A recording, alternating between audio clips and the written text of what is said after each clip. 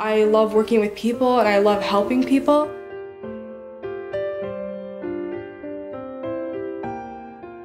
I actually was gonna join the Navy, which Bryce is doing, but I actually found that the Air Force was way better for what I want to do in the future.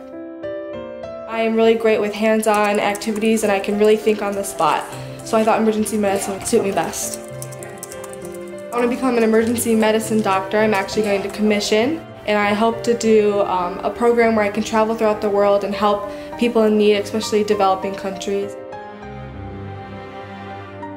What I usually hear is like, oh, you don't want to go to school, right? You join the military. Like you can do school and the military, or you can even just go straight into the military. You can learn a lot of new skills in uh, the military, not alone just the Air Force, but all, all four branches.